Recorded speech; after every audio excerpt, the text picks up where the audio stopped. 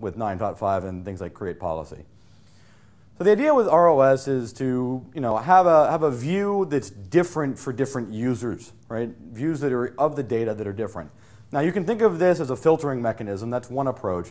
But if you filter things in, in the right way, you can actually end up having two different sets of data, right? You, you know, for the, the different users, right? You could have a set of data that says, you know, so and so is a really nice guy, and you can have a set of data that says he's a really bad guy. And depending on who the person is that's logged in at the time, they may get one or they may get the other, right? There's all kinds of interesting use cases around that. So the whole idea here is, is that you know, you're filtering and limiting, but you're providing a different view, right, for each individual that is connected. And we're going to do all of this while maintaining um, the relational consistency and, and all the normalization and everything that you normally get. You get, you know, you still get all of your primary keys, you still get all of your indexes, your foreign key relationships.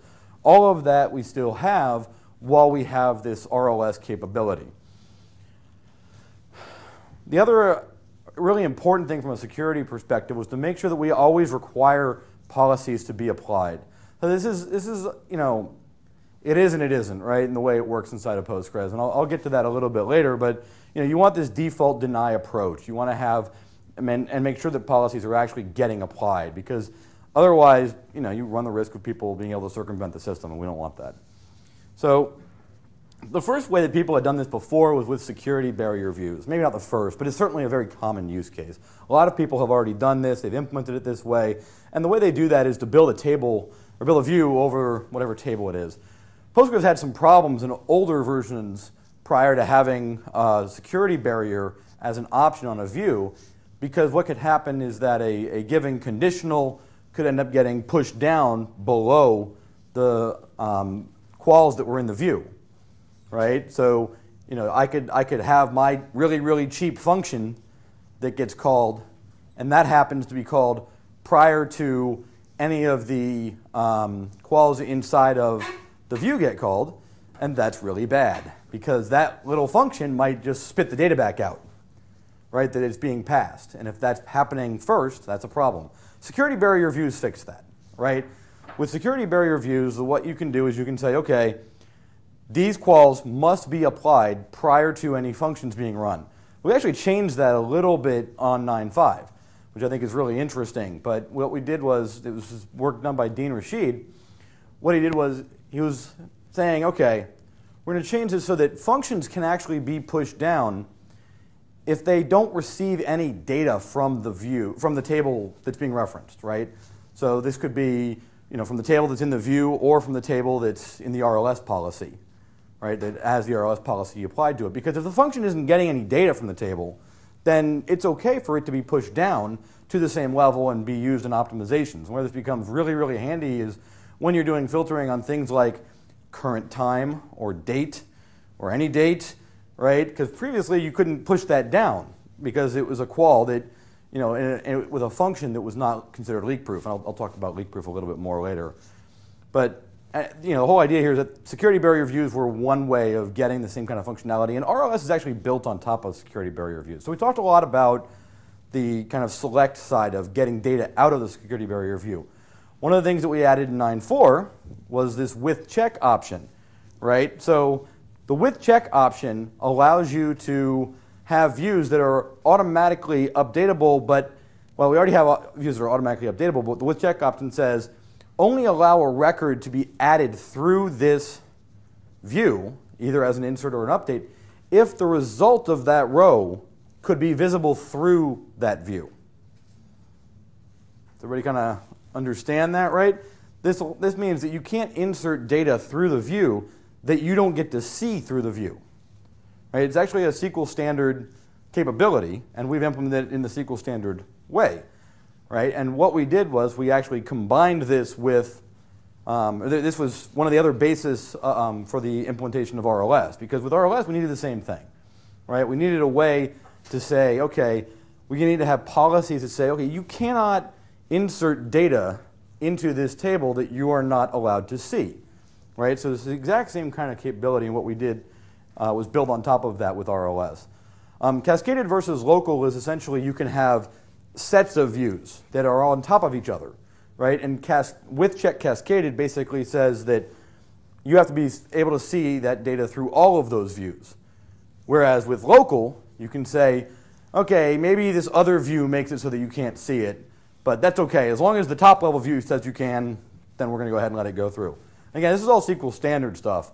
This doesn't really apply on the RLS side of things because we're only dealing with one table in our RLS world um, that we're dealing, you know, at, at, a time anyway. And so it doesn't entirely apply. But the way that you get this capability is just simply add the with check option onto your uh, simple automatically updatable view. So one of the other things, just let everybody know if you have any questions, please.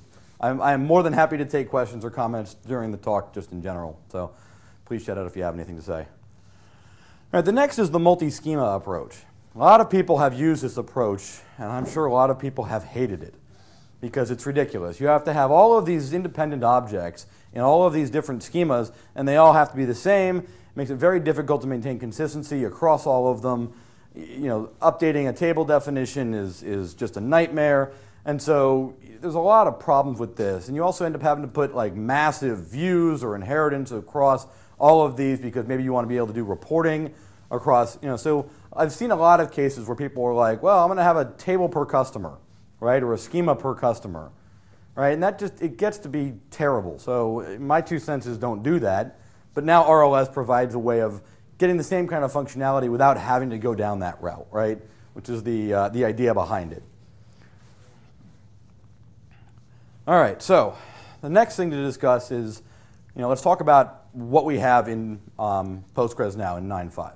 So the first big thing, and I want to point this out first, I think I feel like a lot of people would jump right into creating policies and whatnot, but it's really important to realize you actually have to enable, right? You have to turn on RLS on a per table basis right now, right? Ways that you can address this in a security conscious system might be to have event triggers, which are now in 9.5, and this is something I'm planning on looking at, require that every table have RLS enabled when, um, you know, at the end of the transaction or something along those lines. That's the kind of thing that event triggers are going to allow us to do now that we have them. Um, so those, those plus deparse, which we might have to have, are things that we would need to do. But the whole point here is you have to enable RLS for every table uh, that you want to have row level filtering applied to. And what that does for starters is that says all access to that table must now go through a policy. All right?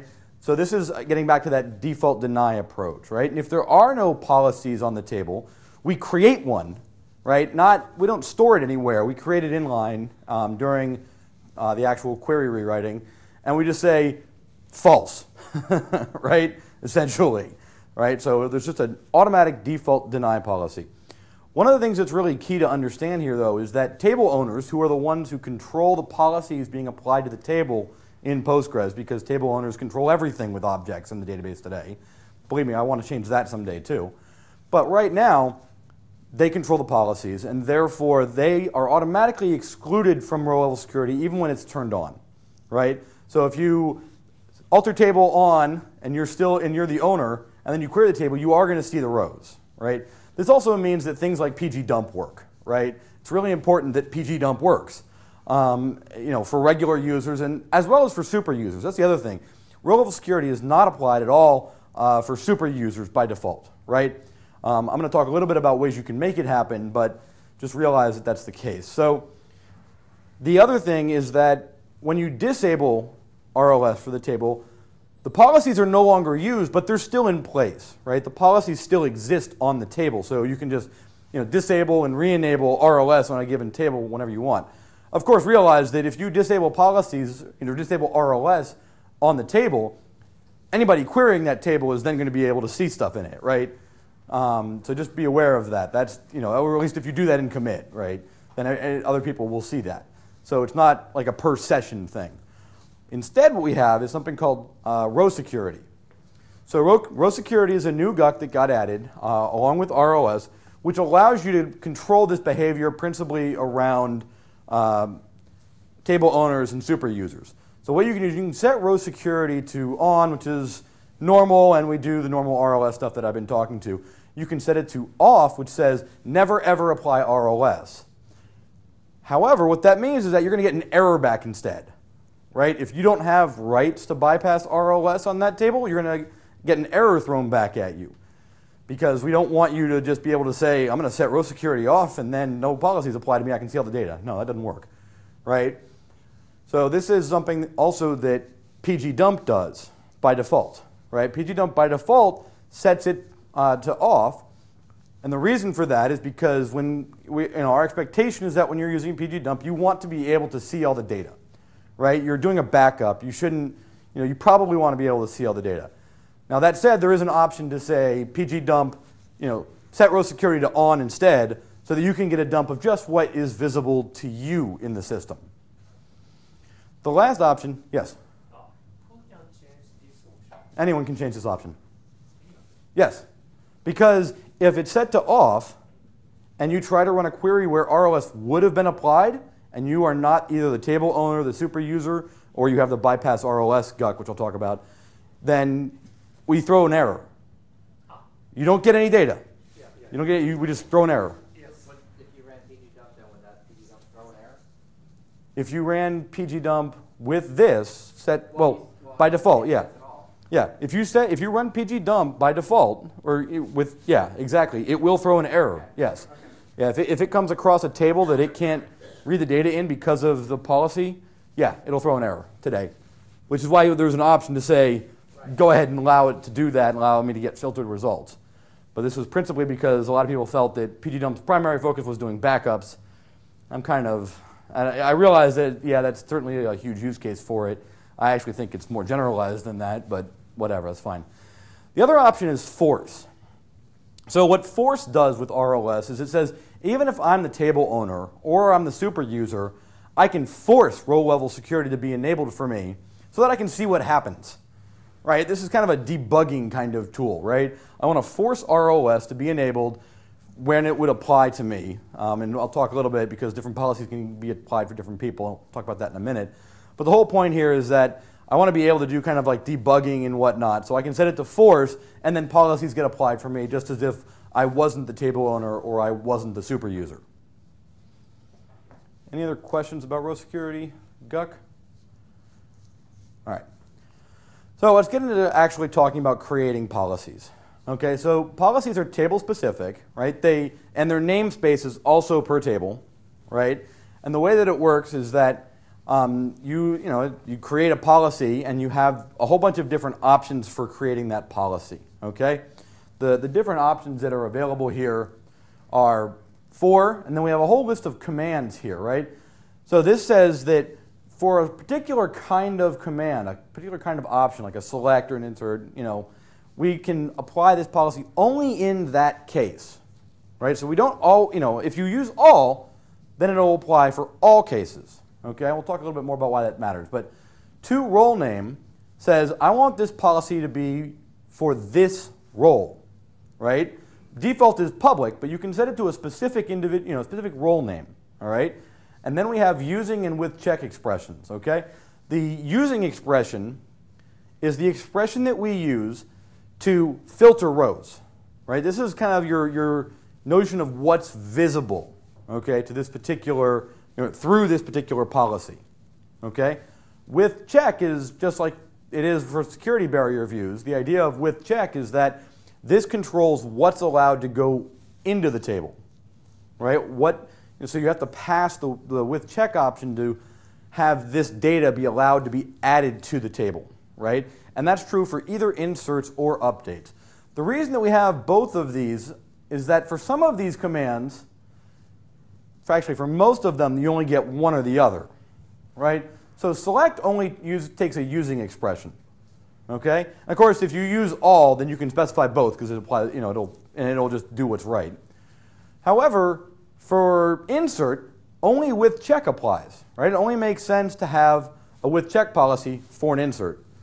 Update, however, gets both, right? Because update, the using piece is what rows is that update allowed to operate on that exist in the table today.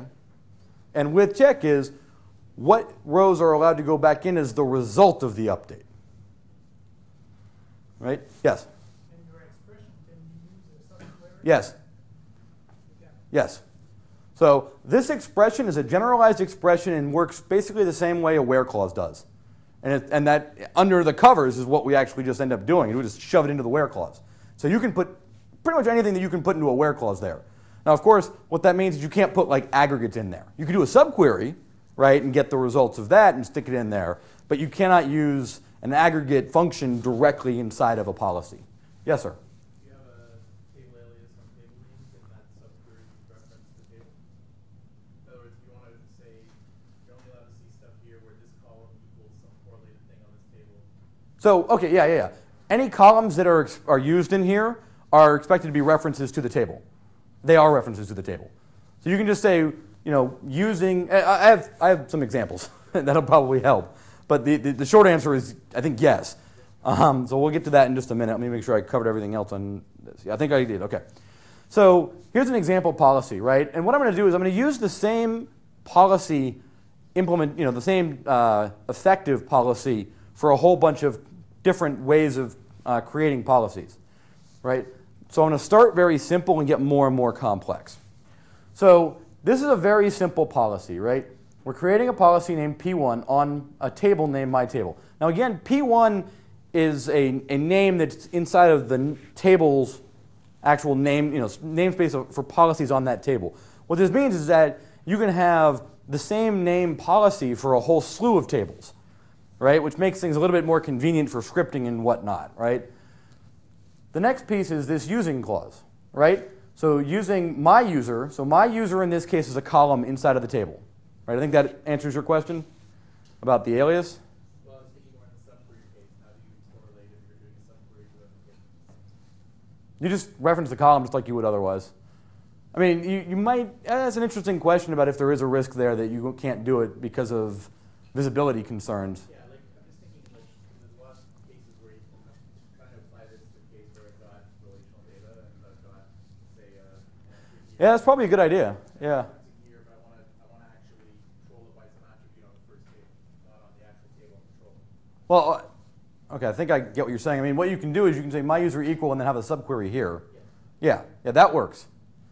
Right? The, the issue, though, is that if you wanted to reference this column inside the subquery where you're doing a join to some table or you're doing a lookup in some other table that has the same column name, it might end up being ambiguous. I'd have to look. That, yeah, that's what If it, if it, ends- yeah, if it does, you know, Postgres will, will spit it back out at you as an error, right? Which is obviously not terribly helpful. It might be a way of dealing with that, but um, it's a good thought that I should probably, that might be something I can get in for 9.5 is to make it so that we can have an alias to this, like current dot whatever. But then, of course, we've got to look for, you know, what if you have a table called current? So I'll have to think about that. Because we, we wouldn't want it to break if you wanted to actually use a table called current. you've got in the statement, you create policy on my table, you're specifying the table, you can give that to my table. Actually, that might just work. You know what? I have to look. You do the alias on the insert table now. Yeah, it might. Hmm? You can do the insert on the alias. You can alias the insert table now. You can alias the insert table? Yeah, when you're doing the. Okay. doing I'm, I'm thinking of. Yeah, actually, you know what? My table, actually, I think that might just work already. well, I'd have to look. I was thinking of the. Uh, I, I can't remember offhand. Sorry. It's been a little while. Stuff. Yeah. Can. Right, right, right. Yeah, no, you could do something like that. Yeah. But that's a good point. We could just use this table name. It- you know, I think it actually probably would just work. I'd have to look. I'd have to, I'd, I'd have to go back and look. Sorry, I don't have an answer for you right now about that. It's a great question, though. I've given this talk like four times. That's the first person, the first time I've ever had that question come up. That's fantastic.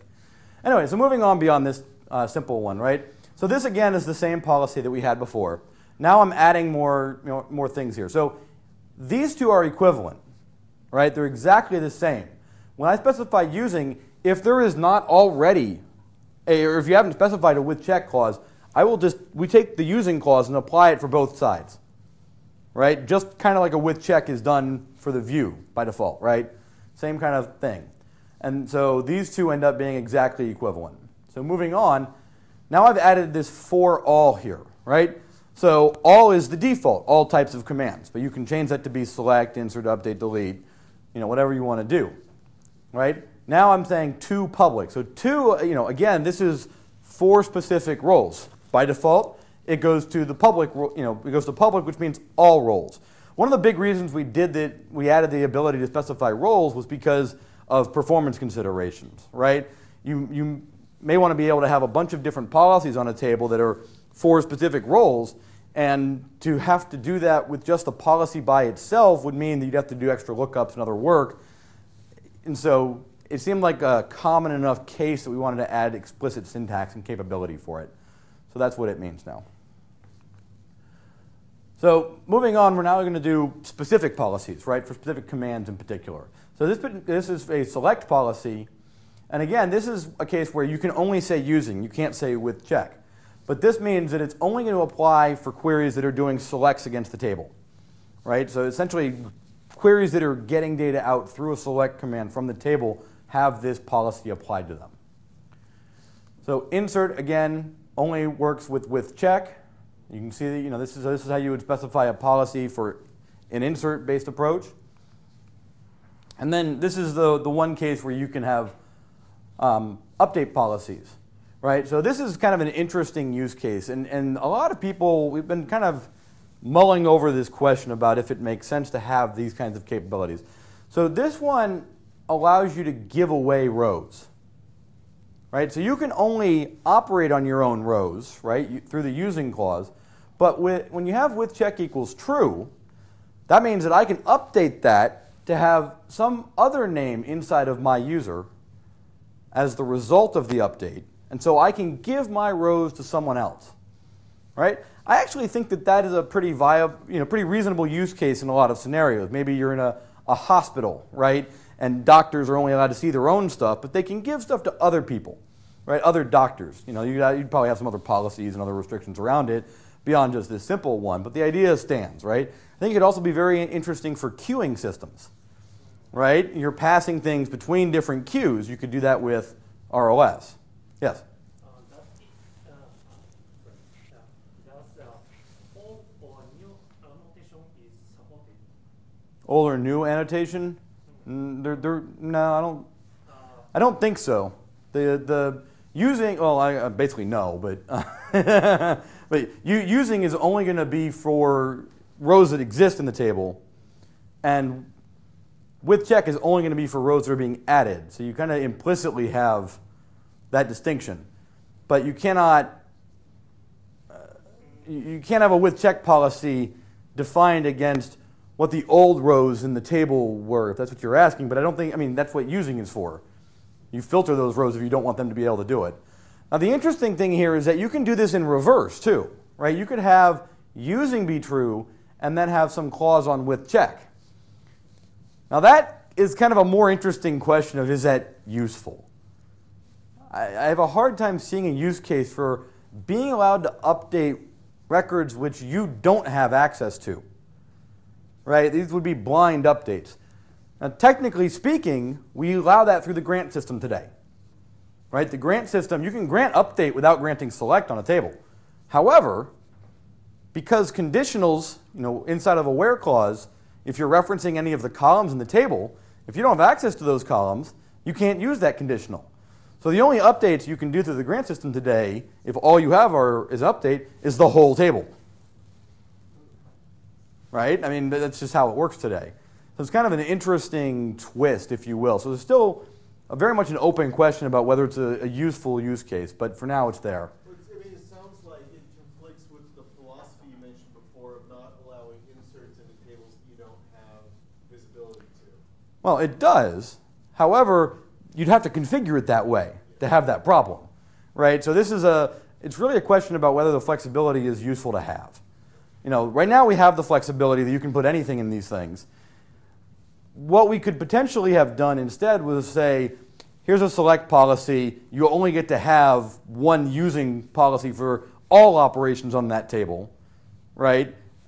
But I actually kind of like the flexibility because I think that that would you know, then we'd probably want to do the same thing on with check, or if we didn't do the same thing on with check, then that would be weird, right? And so I, I actually feel like this is a very, it's very simple and easy to explain, which I think is, you know, is, is perhaps good enough reason just to keep it the way it is now. Any other? Absolutely. I, I, think I think it's possible. Maybe you're in your queuing system, you're allowed to acquire rows from another queue, right? and, and then make them visible to yourself to operate on, right? Maybe that makes them invisible to the other guy. You know, you could do something like that rather than It's more of like a pull model instead of a push model, right? I could see I could see somebody building a system like that, uh, potentially using these uh, these interesting capabilities. All right, moving on. So here's a delete policy, pretty standard stuff. Um, so actually, yeah. So let me touch on two things, right? So the, the delete policy here only has a using clause because it, you only are looking at rows that exist in the table. Right? You're not adding any rows back, right? The with check is not about modifying existing stuff really. It's about what rows are allowed to go back into the table. So that's why delete is a using clause. What this also points out though is that update takes a using clause. And that shows that allows what the visibility is for the rows that you're updating. Right? And that's and that allows visibility for the rows that are in the table to the update command. So some of you may realize that delete and update and insert all have returning clauses. Right? So if you did set up a system for whatever reason where you were allowed to update rows that you're not allowed to see, right, through the select policy, you can still see them because you can have a returning clause that returns those rows back to you. So again, this might actually be a good thing, might be a bad thing. It's definitely a thing, and it's something important to understand, right? These using policies are what is this command allowed to operate on? And anything that that command is allowed to operate on is also something that that command could potentially return back to the user, right, through a returning clause. So if you had a delete policy that said that they were allowed to delete rows that they can't see through the select policy, they could use a returning clause and still get them back. I don't really see too much of an issue with this, but I'm certainly curious if anybody has any feeling about it one way or the other. So certainly something that we can consider, but it's a Well, it thing. It does seem like, you know, if they're not allowed to see the rows, but they can delete them, let's say, then the fact that they get a returning means they get confirmation that those rows actually existed, Yes. right? Yeah, absolutely. Whereas if they couldn't do that, then they could blindly do that delete, and they know that if there were any rows, they're gone, but they would never get to see them. Yes, but they would actually be able to see how many rows got deleted. Right? And if only one row got deleted because they're using a primary key, then they would know based on the where clause that that was there. You know what I mean? That's you know, you can find out all kinds of wacky ways to deal with that or to, to, to you know have that kind of a problem, but you know, personally, blind updates and blind deletes are not things that you know, I think if you create your policies that way, you either did it for a really good reason and you understand the results, or you screwed up. you know, which I think is far more likely. Was there another comment? Sorry, a whole bunch. Yeah.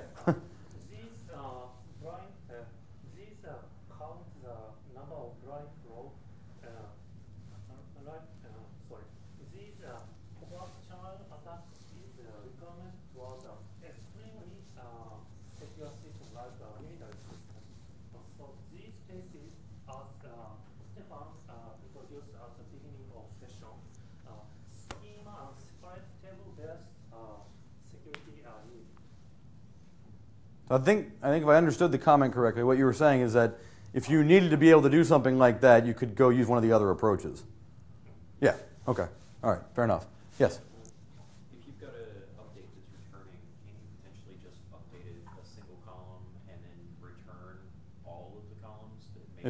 update That's why we have column-based permissions. I implemented that before. So you can just, you can, you can on a per column basis deny access. Right? That's completely independent and will still work just fine, uh, but it's completely independent of RLS. Yeah, but if you go back to the example I was talking about before, you're deleting three rows based on some key that you know, obviously, because you know the key that you're passing in. Actually, you need to have permission to see that key, Uh, Okay, well, let- let's say you have permission to see, all the columns. you might have permission to see some of the rows of the table based on RLS already, right? Yes. So you can see all the columns of the rows that you're allowed to see, but I'm allowed to delete some rows that I'm not allowed to see, right?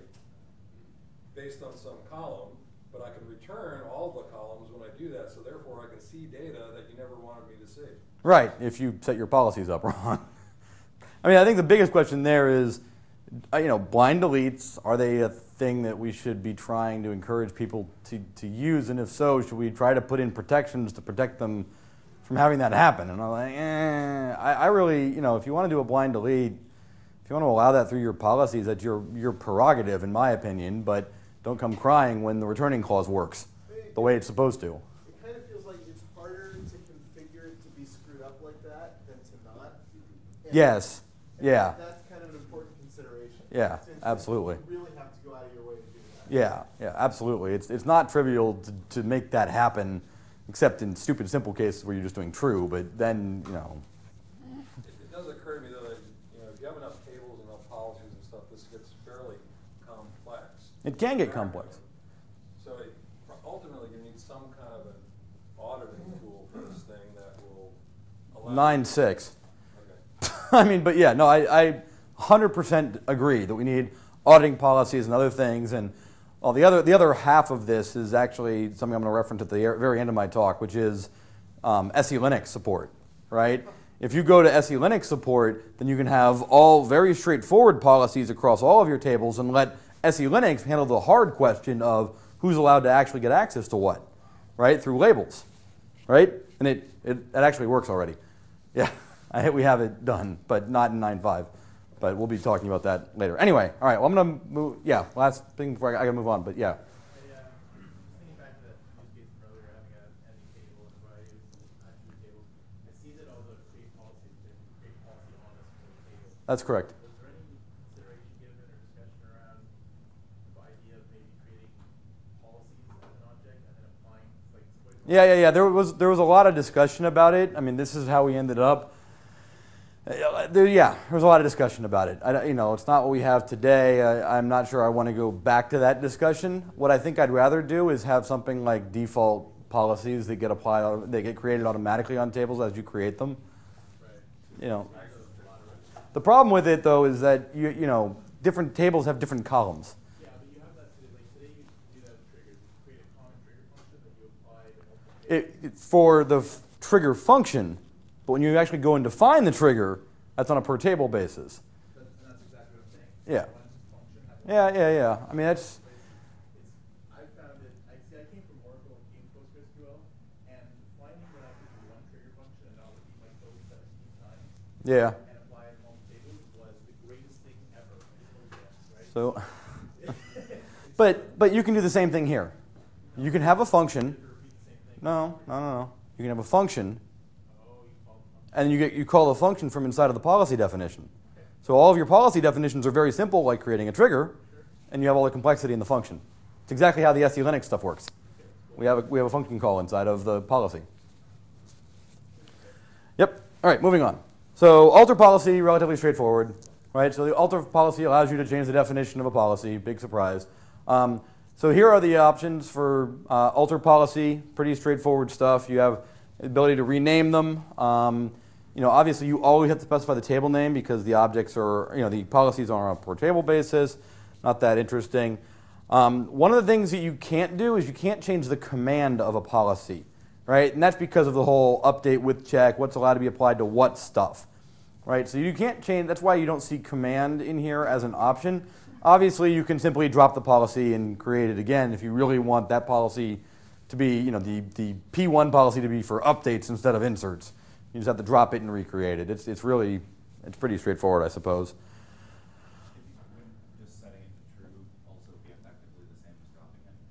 Yes, setting it, yeah, setting a policy, setting the using it with check policies to true would effectively be the same as dropping it, except that you probably want to actually drop it. But yeah, yes, you can do that too. Here are some examples of alter policy. Um, again, they're pretty pretty straightforward. Um, you can change the using clause or the with check clause or you know whatever. I mean, they're, they're pretty straightforward. This this is for roles, right? You can change the set of roles that are are you know a certain policy applies to, and you can have a list of roles too. I probably forgot to mention that earlier. Um, when you create policies, you can list multiple roles for that policy to be applied to, It's Uh, all transactional. just like any other DDL in Postgres is transactional. Yeah. Okay, not everything, but it's not a vacuum, right? all right, drop policy. Um, obviously, remember that if you end up dropping all of the policies off of a table, we will implement that default deny policy, right? So, you know, dropping all the policies off a table is not the way to get to see all the table, all the rows in the table, right? The way to see all the rows in the table is to turn RLS off for the table. But this is how you drop a policy, and we do have the if exists support. Um, we don't really have a yeah create or replace kind of thing, but we do have drop if, drop if exists. All right, moving on.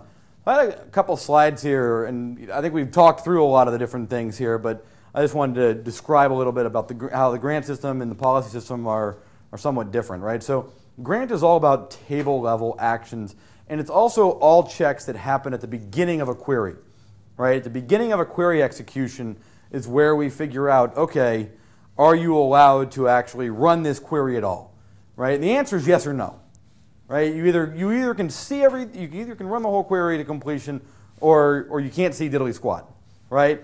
So traditionally, that's why we've gone to using views to limit data, because you know because that way you can actually have a conditional on it, right? So what policy gives you is this table level uh, row bill, you know, or, sorry, row level capability, right?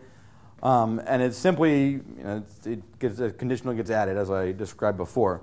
So the one case where we will error with policies, though, is when you do an update or an insert, basically when the with check clause fires, right? If the with check clause fires and you tried to do something that wasn't valid, we will throw an error back. And we will throw an error back no matter how many rows you were trying to insert at that time.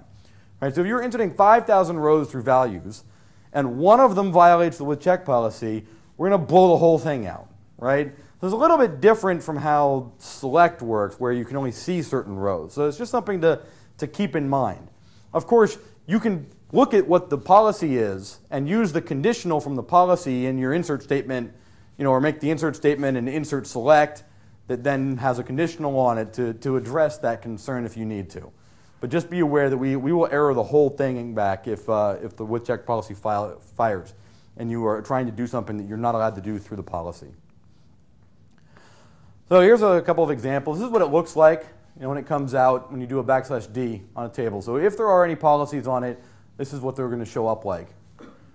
Right, and here you can see I have this policy P1, my user equal current user, and then I'm doing this table T1. This is what the current data is in the table.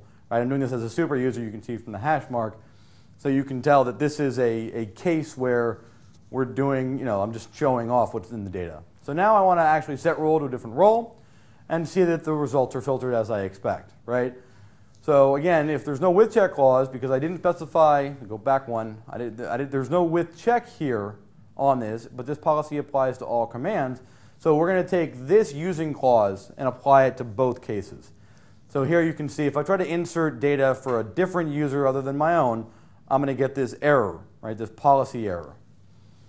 This is actually slightly different now. Um, I did this uh, against an older version of Postgres, I didn't, older commit, I didn't update it. This actually now says something about row level policy, right, instead of saying with check. So it's a little bit cleaner now, thanks to Dean Rasheed, some of the work he did.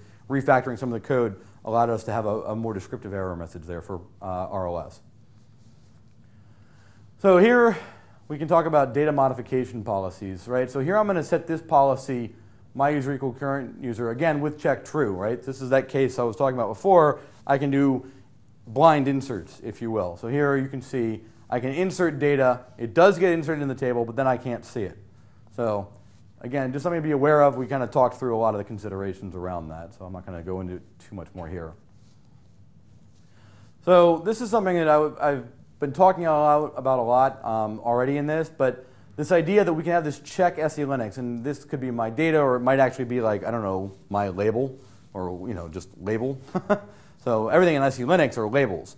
So you can actually, you know, if you spend the effort, you can integrate this with the sepgsql module, which we've done, and I hope to be able to publish some of that very soon, to actually, hmm? Is it homework for me? Is it Homework. homework for you? no, no, no. Well, we're actually going to publish it. and We've actually, because we've been able to get it to work. So Uh, previously I did, uh, a little bit implementation was different. Okay. Oh yeah, yeah. No, the, the prior implementation was different. What this implementation does is essentially give you kind of all of the, the primitive functions that you need to be able to write policies that call out to functions. Yes, much easier implementation. Yeah, yeah. Yeah, absolutely. So, and we've done that, and, and like I said, we're going to be pushing that out soon. It won't make 9.5, obviously, because we're far past feature freeze, but the hope, anyway, is to update the sepgsql module for 9.6 to include these primitives, which will then allow you to create policies that can do that, right? So I'm looking, looking forward to that. I think it'll be really neat. Um, here's just kind of a final, you know, kind of big example, a bit more, you know, rather than those little of contrived ones, this is a real, um, more real, if you will. So this is, the idea here is it's a Unix password file, which hopefully most people are familiar with. Username, password, UID, GID, blah, blah, blah, blah, blah. Right? And then we have these three different roles in the system. We have the administrator, who's allowed to do a lot more stuff, and then we have just normal Bob and Alice stuff, right? So here we're going to first populate the tables, right? This is done as the administrator. We're just kind of setting things up. This is how we build the table. We have this, these set of values, right? So we have the, the username, and then we have you know, the actual name, phone number, some directories and stuff, right?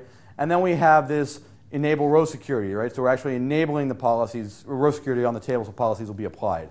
Then we go through and create our policies. So the policies that we're going to create are this admin all, which says, okay, the admin's allowed to do anything. Obviously, this, this could actually be simpler. We could just say using true rather than using and with check, but in some cases, maybe you want to do both to make it explicit. Right? Normal users can see all of the rows, right? And they're allowed to update their own record, but they can only do certain updates with regard to the shell. All right? This is pretty typical, right? There's commands out there, the CHSH, which allow a user to change their shell, for example. This is the same kind of idea here. So this is our using policy that says, okay, the current user, whoever it is, can see their, you know, if their uname is there, then they're allowed to see that, um, or they're allowed to update that record, right? But when they update it, they, the current user has to stay the same. They can't change that. And their shell must be in this list, okay? What this allows us to do is it says, okay, the administrator can set the shell to whatever they want, but the user can only set it to this set. And obviously, this could be a select statement instead, right? You could go out to another table and select what, what shells people are allowed to use, kind of thing.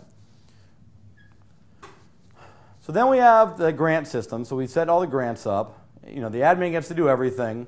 Users only get select access on, on what I'll call public columns, right? So they can't, they don't have select access on the password column in particular. That's the one that you see that's not listed here, right? And then users are only allowed to update certain columns. So they're allowed to update their password, their real name, home, phone, and shell. So when I said that they weren't able to, you know, have the result be different from this, I think it's a good idea to have that in the policy, although it's not strictly required because they're not allowed to update that column anyway. So they shouldn't actually be able to create a row that, where that's not the case. But for my two cents, if I was creating policies along these lines, I'd do it anyway just to make sure. So anyway, so they're allowed to update these columns on password um, and moving on. Okay. So now we're going to set role to admin and show, okay, admin can see everything. Yay, yay, yay. Now we're going to see what Alice can do. So we set role to Alice, then we do this table pass WD, and you got a permission denied, right? Alice doesn't have access to all of the columns in the table. That's why you get a permission denied. So Alice has to specify what columns she wants. So here we are, we can specify these columns, and then we can see all the data for all those columns. If I want to do an update password to change my username, as I said before, they're not all, there were certain things that they're not allowed to do, right? So one of the things that regular users are not allowed to do is to change this column, so we get a permission denied. But Alice is allowed to change her real name, so she has changed it to Alice Doe. Works just fine. Interesting thing though, if she tries to update where it's somebody else, she gets an update zero, right? She doesn't get an error because the visibility policy says that update is not allowed to see those rows. So she simply doesn't, you know, her update runs, but nothing happens. That's actually why this update only returns one, too. If you'll notice, there's no conditional here. Right, so this is updating all rows that Alice is allowed to update. Here is the update password. If you try to set the shell to something different, you get a, a violation of the policy. Like I said, that, that now says row level policy. Uh, delete, not allowed to delete, so we get an error back. That's from the grant system. This is also from the grant system if she tried to insert into a pass WD some new row, but Alice is allowed to change her own password. And that works just fine. Um, I, I'm unfortunately running out of time here. This is actually an hour long talk, but we only have 45 minutes here. But I did want to mention again about leak-proof functions. We talked about them a little bit before. Leak-proof functions are functions that can get pushed down through a policy, same way they can get pushed down through a security barrier view. These are functions that Postgres, we have decided that these functions can never ever return data back to the user, right? Um, even in an error condition. So those are allowed to get pushed down, and that means a lot of optimizations happen that couldn't otherwise, which is great. Um, we can certainly talk about some of the other things about it, but you know, there's a lot of you know, only super users can make them leak proof, of course, and they must actually be leak proof. If you make a non-leak proof function, you say it's leak proof and it's not actually leak proof. Sorry, don't do that. Um, here's just a quick explain example. Sequence scan, uh, sequence scan on that. This is this was applied from the policy. Um, here you can see that we are able to use indexes um, with, policies, which is great. Here's something more, slightly more complicated. You can see here we first apply the policy, then we apply the filter. That's required, and that's the last I had. I'm at 47 minutes, so I'm happy to talk further for a few minutes, but I just want to let you know we do have to get out, and I don't want to. I want to get the next person. Wait, I'm done, but we do have the closing session. Anyway, yeah, questions. Uh, if you disable row-level security for a table and then re-enable it, are your policies still there? That's correct. Yes, policies are kept. Policies are kept even if you, even, yeah, yes. The answer is yes. Yes. What's that? So there was some discussion about potentially allowing them to be applied to views and being applied to foreign tables and other things. And the answer to that is right now, no. It's something I definitely want to look at, but currently you can't. So it's an interesting idea, but obviously you can put the conditionals inside the view if you want, or you can create another view, or you know whatever you want to do there. So there's other ways of getting at whatever the problem is that you're trying to address through that. But currently, no. Other questions? Yeah, in the back. Uh, how does it work with the column grants? Conflicts or? I thought I showed that. So the, the grant system is independent and gets applied. So yeah, you can't you can't do like a select star and if you don't have access to a column, not see it. We don't do that. If you select star, you have to have rights across all of them. There's no way to do per column. You can't hide columns and stuff. No. Yes. Uh, does it prohibit to include a function owned by unprivileged, unprivileged users? So if you pa- if you use a function inside of your query, Uh, no, no, no. Uh, uh, unprivileged function inside the policy. yes, you can have whatever whatever functions you want inside the policy. Uh, Same way as you can have whatever whatever query whatever thing you want inside of a security barrier view. Same thing. So, and we don't worry about pushing that down because you defined it, right? Policy administrator defined it. We're going to use it. If accidentally uh, include a malicious function, a potential malicious function in, inside the policy, then a malicious user redefines a function. Uh, it may If. If the malicious user is allowed to change the function defined in the policy, you're screwed. Yes. Okay. Yeah.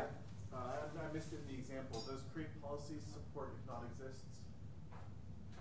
So I don't think actually I don't think create policy supports if not exist. I could be wrong though. I don't I don't recall offhand.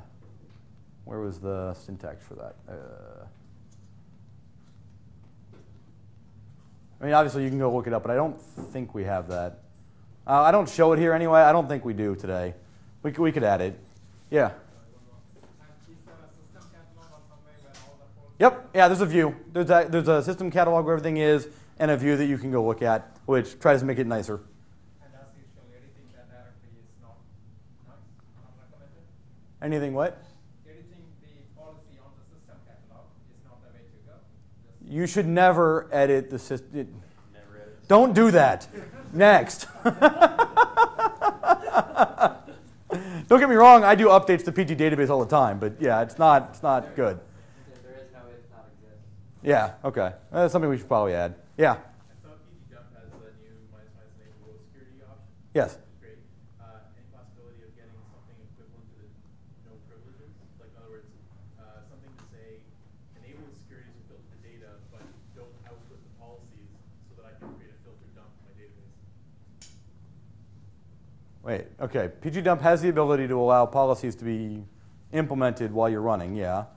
What, what is it you need though? I'm saying as you're, as you're dumping, Yeah. table definitions don't dump the Don't dump the policy. Oh, don't dump the policies. Um, It's revoked, we have a no privileges for that. I, having an equivalent for no road uh, do we have? I'd have to go look if we had that. See the docs. Yeah, I- yeah. I don't think we did that, but yeah, it seems like it'd probably be a good idea too. We can certainly look at adding that.